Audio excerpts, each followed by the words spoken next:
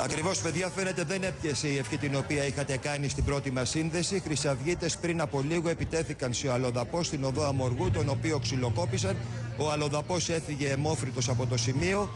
Και το δεύτερο το οποίο έχω να σας πω είναι ότι στο τέλος της πορείας σιγά σιγά τώρα αρχίζουν και συγκεντρώνονται γύρω στα περίπου 100 άτομα αντεξουσιαστών εναρχικών. Η αστυνομία που ήταν ο Δημήτρη, δεν είναι εκεί. η Λέμε το αστυνομία. πρωί, ρε παιδιά, ότι η αστυνομία με βάση Πού και την βρίσκεται; εμπειρία Ε, τη προηγούμενης το ξέρετε φάσης. κιόλας. Η Αυτό αστυνομία, η αστυνομία βρίσκεται, η αστυνομία βρίσκεται μόνο εδώ στη- για να κόβει την πρόσβαση στις γυναικείες φυλακές Κορυδαλού όπου διεξάγεται η δίκη. Μάλιστα. Πουθενά αλλού σε Δεν βρίσκεται κανένα άλλο περιφερειακά. σημείο εδώ δεν υπάρχει Μάλιστα, μάλιστα. αστυνομία. Μάλιστα.